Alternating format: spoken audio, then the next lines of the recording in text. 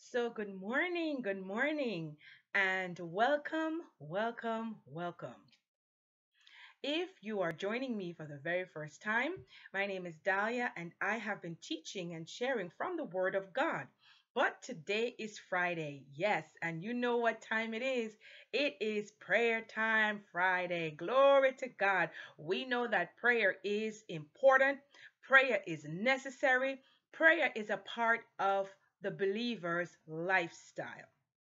Now, I always remind you every prayer Friday to remember that prayer is a dialogue. Prayer is not a monologue. So, you know, don't be like, you know, when we were in certain churches, you just go up, you say what you have to say, and then you just walk out. No. You pray, you talk to God, but then you give God time to talk back to you because He does. He talks back to you. Amen. So remember, pray, listen, meditate, listen, talk, listen. All right? Because you will see as you practice prayer, as you pray more often, you get into a relationship with God. And I'm telling you, there is nothing that's hidden in your life. There is nothing that God would not do for you. I know it might seem like you're sinking, your trial is overwhelming, Oh, but if you would just trust God a little bit longer, you'll see He will bring you through that. But you've got to trust Him. You've got to pray. You've got to seek His face, and He will make a way for you. This prayer theme, I usually give you a theme, and again, go somewhere where you are undisturbed and you're not distracted and pray. Pray, pray, pray. It's not about how long, it's not about the time. You see, because many times people think that prayer is quantity. It's not how long you pretend to pray or whatever, okay? It's the quality, all right? So you go somewhere where you're not, you know you're not going to be, there's no interruptions. And you just listen and meditate and meditate on the word. Get a scripture, you know, especially if it pertains to something that you're going through. Some people need healing. Some people need restoration for their families. You know, find a scripture that that pertains to what you're believing God for.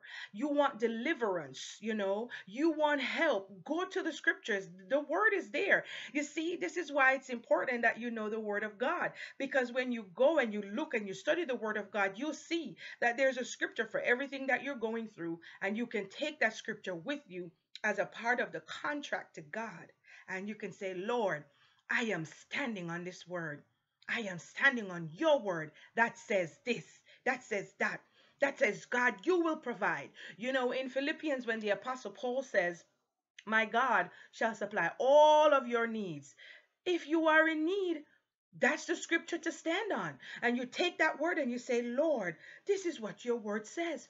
You will pro- provide for all of our needs. I'm coming to you now with this situation. Amen.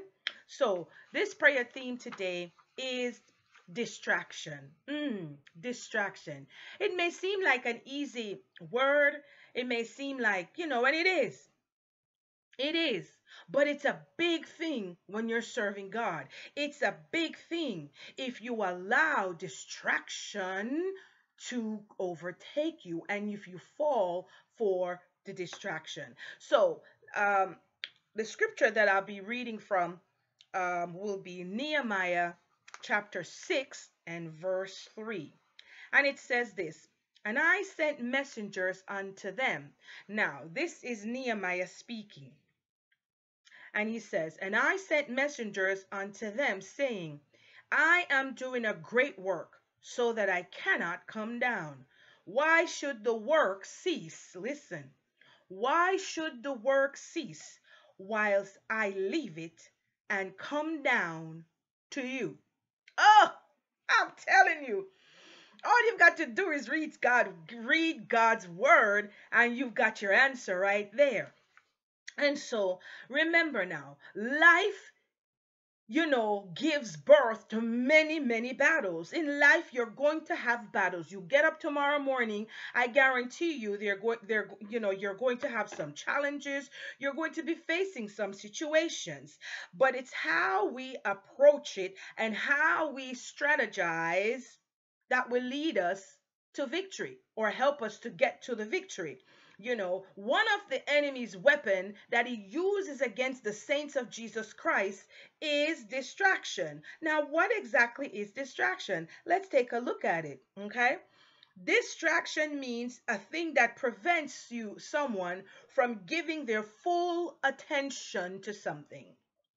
Distraction is um, a thing or a situation or a person that prevents you from giving your full attention to whatever it is you need to give your attention to.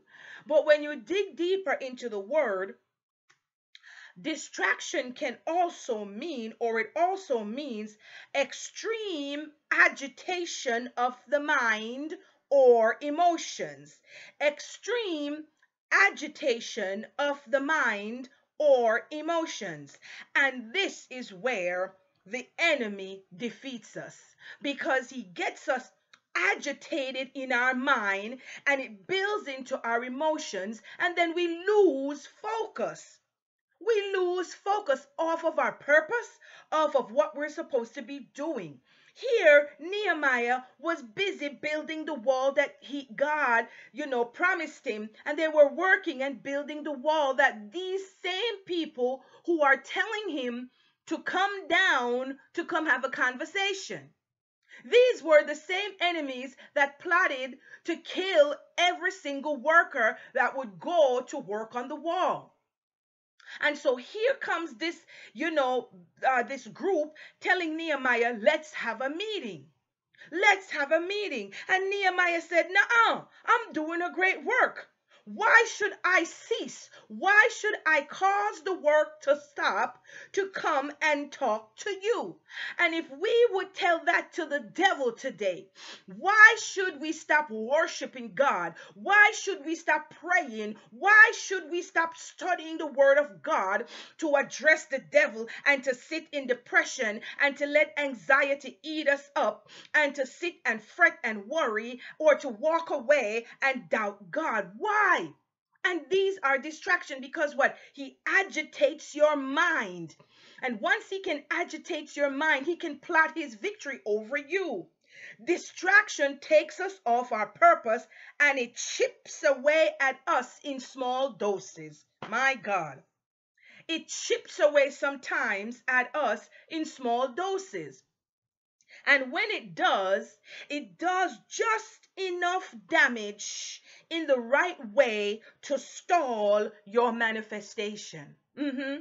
It chips away at us if we allow the distraction and it stalls the manifestation. Why? It stalls the manifestation because you have ceased the work. Nehemiah said, Why should the work cease? Look at the word. Why should the work cease while I leave it while I leave it to come down to you. When you give in to distraction, you are coming down to distraction. You see, when you go to church sometimes and the word of God is being taught by the preacher and the pastor, you know, you're looking at your phone, you got to check your email, you got to look at um, Instagram, Facebook. When the word is coming to you, the word that would give you life, the word that will save your life. You know, many people sit in church and they're too busy. They can't put their phones down for one second. You know, sometimes like when I go to churches and I'm preaching, I remember recently I was preaching and I was preaching the word and teaching the word, and I know the folks were tired, you know, and I said maybe they shouldn't have had the service at this hour. And this one guy was on the front row, laid back and asleep. But I kept the word going, you know, because the other people were enjoying the word, but he fell out sleeping. At the end of the service, he did apologize, but that's also a distraction.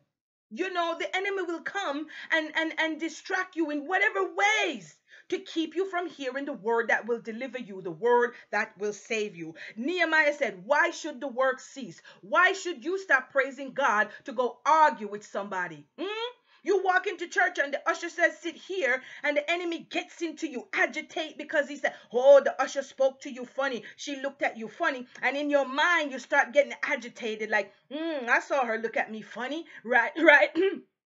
right? And then you go to your seat, and all the while it's eating at you. Oh, I think she looked at me funny. And then you try to find somebody to gossip to to say, Do you know that girl? You know, it's a distraction. It's a distraction because when your mind is distract, distracted and your emotions get involved, you miss what God is saying to you. So don't be distracted. Don't let the enemy agitate you because why? It's his way of stalling the manifestation, stalling the power of God, stopping the work of God in you. In some situations, we need to hold our peace. Yes. In some situations, we need to hold our peace and stay on purpose.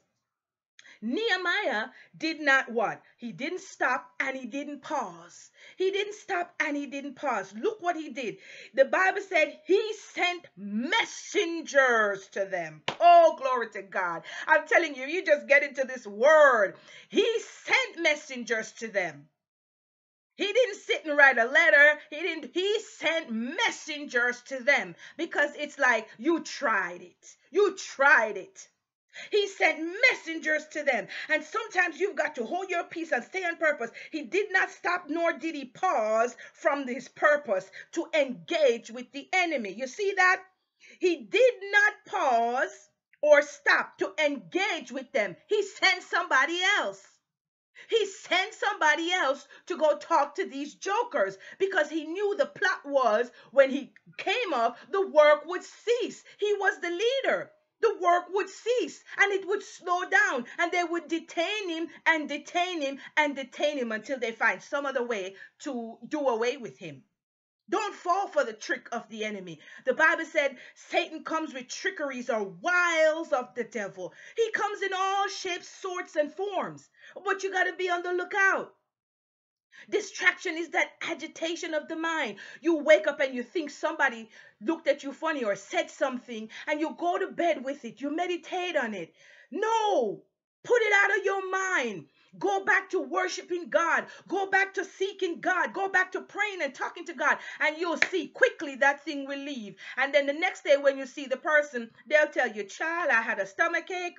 Ooh, I thought I was going to pass out. That's the reason they looked at you funny because they stomach, the stomach was grumbling and rolling like a, you think a Mack truck was up in their belly. Come on now. They weren't looking at you funny. It's the pizza they ate, you know, two minutes before they saw you and he gave them indigestion. So he did not pause or stop from his work. He sent messengers. So don't allow your emotions to overthrow you. Don't allow your emotions to cause your focus to shift from off God. Hold your peace and trust God. He promised to lead you and guide you into all truth. That's what he promised to do, and you will be victorious.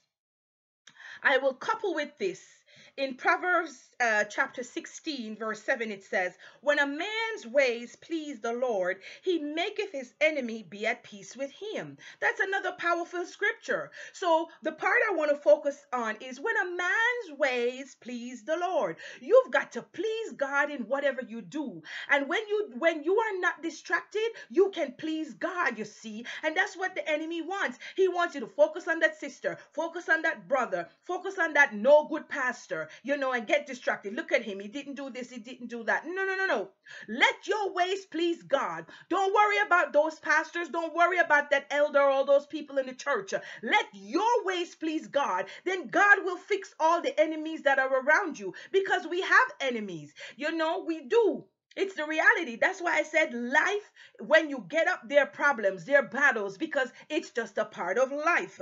So let your ways please God. Let everything you do please God. In all things, in uh, first uh, thessalonians it says in all things give thanks because this is the will of god in everything it says in everything give thanks because this is the will of god that's what the bible said So don't allow yourself to be distracted. Every time something comes to take you off your purpose, to stop you from doing what you're doing, stop and begin to call on Jesus. Begin to praise the name of the Lord. Begin to worship Him. And I'm telling you, it will leave you. Don't get distracted in your mind. Don't stop what you're doing. Don't let the work of God cease to argue with the enemy. Sometimes people just want you to argue with them. you know, some people just like to argue and they pick a fight with you. But don't get into an argument. Nehemiah didn't argue with them. He just sent word. I'm not coming down. I'm not going to stop the work of God to come and talk to you. Don't cease your purpose. Don't get off track. Don't be distracted. I hope this word was a blessing to you.